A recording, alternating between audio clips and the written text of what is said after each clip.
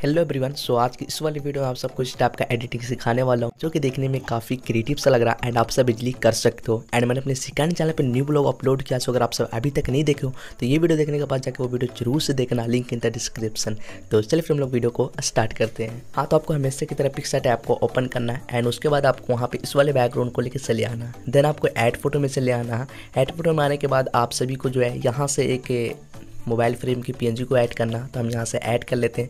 आप सभी इस पीएनजी को ऐड कर लेना एंड मैं पे जो भी यूज़ करूँगा इस फ़ोटो के लिए बैकग्राउंड पीएनजी वो सारे के लिंक आपको हमेशा की तरह डिस्क्रिप्शन बॉक्स में मिल जाएगा तो आप वहाँ से इजिली डाउनलोड कर लेना ओके तो इस मोबाइल फ्रेम PNG को परफेक्ट बैकग्राउंड को ऊपर सेट करना एंड डन कर देना ओके तो आपको इस तरीके से करना एंड उसके बाद आपको फिर से ऐड फ़ोटो में चले आना एंड ऐड फ़ोटो में आने के बाद आप सभी को जो है यहाँ से अपने इंस्टा का जो आपने स्क्रीन लिया, आप उस स्क्रीन को ऐड कर लेना, ठीक है?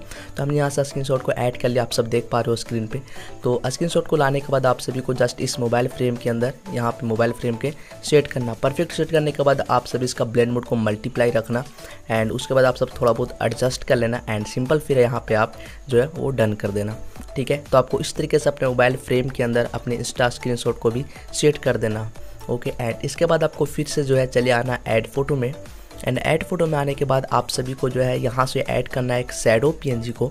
तो हम यहाँ से सैडो पीएनजी को ऐड कर लेते हैं। एंड सैडो पीएनजी को ऐड करने के बाद आप सभी को जो ये मोबाइल फ्रेम है, यहाँ पे सेट करना ताकि ये थोड़ा रियलिस्टिक इफ़ेक्ट आए कि हाँ ये सच में यहाँ पे मोबाइल है। आप समझ रहे हो? तो आपको इस तरीके से सैडो पी को सेट करना एंड सिंपल डन कर देना। तो आपने ये भी कर लिया। एंड इसके बाद आपको क्या करना है?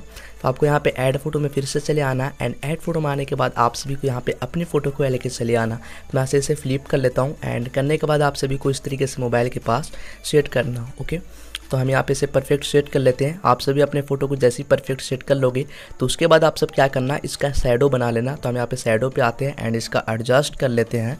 ओपेसिटी बलर वगैरह को आप देख पा रहे हो इधर ओके कुछ 45 67 एंड पोजीशन को आप लोग सिक्स सिक्स रखना, ठीक है? एंड उसके बाद इधर का मैं और भी थोड़ा सा ये कर लेता हूँ। आप देख पा रहे हो स्क्रीन पे कुछ ऐसा पॉज करके अपने कर लेना है यहाँ पे। ओके तो आपको इस तरीके से सैडो बनाना है एंड जस्ट डन कर देना। तो आपको यहाँ पे आपने शेडो भी बना लिया एंड उसके बाद आपको फिर से चले आना ऐड फ़ोटो एंड इस बार जो आपको ऐड करना है, वो एक चेन पी है। आप समझ रहे हो, वो जो सिक्का है आपका, क्या बोलते हैं ना, वही। तो आपको उसे ऐड करना है एंड ऐड करने के बाद आप सभी को जस्ट इसे क्या करना, इस तरीके से यहाँ पे सेट करना। एक जो है, वो आप मोबाइल के फ्रेम से ऐसा निकालना एंड हाथ के पास आप ऐसा सेट कर देना। आप देख पा रहे हो स्क्रीन पे। तो आपको इस तरीके से सेट करना एंड जैसे आप सेट कर लोगे एक तो आप लोग जस्ट उसके पे क्लिक करना एंड लेयर पे क्लिक करके इसका एक डुप्लीकेट बना लेना। और उसे आप लोग इधर एक और तरफ़ जो है, सेट कर देना, ठीक है? पता नहीं मैं आपको अच्छे से समझा पा रहा हूँ या नहीं समझा पा रहा हूँ। होपफुली कि आप समझ रहे होगे।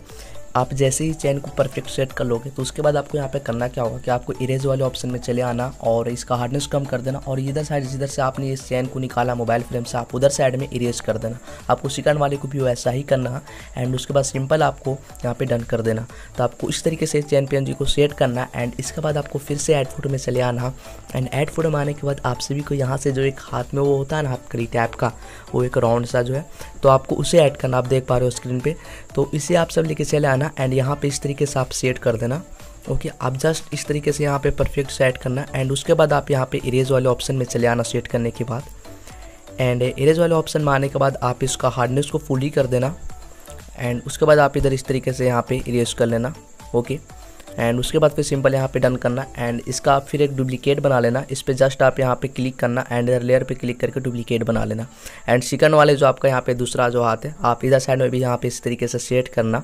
एंड सेट करने के बाद आप सभी को फिर यहाँ पे वही इरेज में आना हार्डनेस को आप सब फुल कर देना। और इस तरीके से यहाँ पे भी परफेक्ट जो है वो आप यहाँ पे ड्रॉ इरेज कर लेना। ये हो जाएगा आपका। आप जैसे ये दोनों में कर लोगे तो उसके बाद सिंपल फिर आपको यहाँ पे डन हो जाना। तो आपने इस तरीके से ये स्टेप को भी कंप्लीट कर लिया। तो इसके बाद आप सभी को फिर से ऐड फ़ोटो में चले आना होगा और यहाँ पे आप सभी को जो है वो ट्राईपोर्ड पीएनजी को ऐड करना होगा, जो मोबाइल ट्राईपोर्ड पीएनजी तो आप उसे ऐड करना एंड जस्ट आप सभी को इधर साइड में से परफेक्ट जो है वो सेट कर लेना होगा, ठीक है? तो हम यहाँ पे इसे परफेक्ट सेट कर लेते हैं एंड जैसे आप सभी परफेक्ट सेट कर लोगे तो आप इरेज वाले ऑप्शन माना हार्डनेस को फुली कर देना और इस तरीके से आप यहाँ पे सूच के ऊपर जो आ गया वो इरेज कर देना। ओके? एंड फिर जस्ट आप यहाँ पे फिर डन कर देना। तो आपको इस तरीके से ट्राईपोर्ड पी को भी सेट कर लेना। एंड इसके बाद फिर से आप सभी को यहाँ पे चले आना होगा ऐड फ़ोटो में। और इस बार आपको यहाँ से ऐड करना है कि लाइट पीएनजी को। तो हम यहाँ से सेल लाइट टैप का पीएनजी है तो ऐड कर लेते हैं। एंड ऐड करने के बाद इसका ब्लेंड मोड स्क्रीन रखना और इस तरीके से इस साइड में सेट करना। और इसको ऑपोसिटी को आप सभी को यहाँ पे जो है ऑपोसिटी को अराउंड 50 ऐसा रखना, ओके? एंड उसके बाद सिंपल आप यहाँ पे डन कर देना। ये हो गया आपका, ये स्टेप भी कंप्लीट हो गया। तो इसके बाद आपको ड्रॉ टूल के अंदर लेकर चले आना अपने फ़ोटो को और यहाँ से आप सभी को जो है वो ब्लैक कलर को सिलेक्ट करना। ठीक है, वो सिलेक्ट रहेगा ही ब्लैक कलर अगर नहीं रहेगा तो कर लेना। उसके बाद आप सब ब्रश का साइज़ वगैरह को देख लेना। ब्रश का साइज़ अराउंड आपको फोर्टी सेवन एंड ओपासिटी को फिफ्टी रखना। एंड उसके बाद आप सब जस्ट यहाँ पे ट्राईपोर्ड का साइडो बनाना, इस तरीके से यहाँ पे ब्रश ड्रॉ करना। ओके आप जैसे ये साइडो बना लोगे ट्राईपोर्ट का तो आपको शूज़ वगैरह का भी बना लेना एंड इधर साइड में भी आप बना लेना। मतलब जिस जगह पर आपको लगे कि हाँ यहाँ पे साइडो बनना चाहिए, आप बना लेना। एंड उसके बाद आप इधर लेयर वाले ऑप्शन पर क्लिक करना एंड इसका ऑपेसिटी को 50 रखना। ओके? तो आपको इतना रखना ओपेसिटी को एंड उसके बाद सिंपल इधर पे प्रोजेक्ट को अपने सेव कर लेना, ठीक है? तो आपका ये जो शेडो है वो तो बन गया एंड काफ़ी रियलिस्टिक लग रही है। तो आपको इस तरीके से यहाँ पे शेडो बना लेना एंड उसके बाद आप सभी को यहाँ पे एक ऐड फ़ोटो में फिर से चले आना एंड ऐड फ़ोटो में आने के बाद आप सभी को यहाँ पे एक PNG को ऐड करना। वही चैन पी वो बलर है। तो हम लोग को इससे बलर चैन पी को ऐड करना और ऐड करने के बाद आप सभी को जस्ट यहाँ पे फिर डन कर देना। आपको बस इतना ही करना था पिक्सार्ट के अंदर। आपका सारा स्टेप यहाँ पे कंप्लीट हो चुका। तो हम लोग फिर से आएँगे ड्रॉ टूल के अंदर अपने फ़ोटो को लेके एंड थ्री डॉट पे क्लिक करेंगे एंड अपनी फ़ोटो को यहाँ पे सेव कर लेंगे। सेव करने के बाद हम लोग अपनी इसी फ़ोटो को ओपन करेंगे फिर लाइट एप्लीकेशन के अंदर। तो मैं अपने लाइट के अंदर कर लिया अपने फ़ोटो को ओपन एंड ओपन करने के बाद आपको कलर वाले ऑप्शन में चले आना एंड यहाँ पे वाइब्रेंस को इंक्रीज़ करना। ओके एंड 54 रखना, उसके बाद टेम्परेचर को भी छेड़ना फोर एंड उसके बाद आपको चले आना मिक्स टूल में। मिक्स में आने के बाद आप सबको जस्ट यहाँ पे ऑरेंज कलर का लुमिनेंस को इंक्रीज़ करना। है एंड सिंपल फिर आपको मिक्स टूल से डन कर देना। बस इतना ही करना मिक्स के अंदर। एंड कलर वाले ऑप्शन से भी निकल जाना। इसके बाद आपको इफ़ेक्ट वाले ऑप्शन में कैलरिटी को इंक्रीज करना। साथ में आपको टेक्सचर को इंक्रीज करना। विकनेट को भी माइनस की तरफ़ रखना। है एंड इसी के साथ आपको इफ़ेक्ट वाले ऑप्शन से भी निकल जाना। तो बस आपको इतना करना है एंड इसके बाद आपको सिलेक्टिव वाले टूल में चले आना सिलेक्टिव में क्लिक करना प्लस के आइकॉन पे क्लिक करना एंड सराउंड सर्कल को सिलेक्ट करना, और फेस के ऊपर ऐसा एक सर्कल बनाना है एंड आपको यहाँ पे लाइट वाले ऑप्शन में चले आना फिर, और इसका साइड सैडोज इंक्रीज करना एंड कॉन्ट्रास्ट को भी इंक्रीज करना एंड उसके बाद आपको फिर से प्लस के आइकन पे क्लिक करना, फिर से सेलेक्ट को सॉरी सर्कल को सिलेक्ट करना, और इस तरीके से आपको फिर से एक सर्कल बनाना है और इस बार आपको इतना बड़ा बनाना है ठीक है? और यहाँ पे आप लोग इसे इन्वर्ट कर लेना। इन्वर्ट करने के बाद आप सब लाइट वाला ऑप्शन माना एक्सपोजर को माइनस की तरफ़ कर देना एंड बस करना। इतना ही करना आपको एंड उसके बाद सिंपल डन कर देना। तो आपका यहाँ पे फ़ोटो जो है वो डिटैच हो चुका है लाइट के अंदर, आप सब यहाँ पे बिफोर एंड आफ्टर देख सकते हो। So before and after before and after so काफ़ी अच्छी चमक आ गई हमारी फ़ोटो के अंदर। सो होपफुली आज की वीडियो आप सभी को अच्छी लगी होगी तो लाइक ज़रूर से कर देना। एंड अगर आप सब इस टाइप का एडिट करते हो तो मुझे इस टाइप पर ज़रूर से टैग करना। मैं आपकी पोस्ट को वहाँ पे देखूँगा एंड लाइक भी ज़रूर से करूँगा। ज़रूर से टैग करना, ज़रूर से लाइक करूँगा, ठीक है?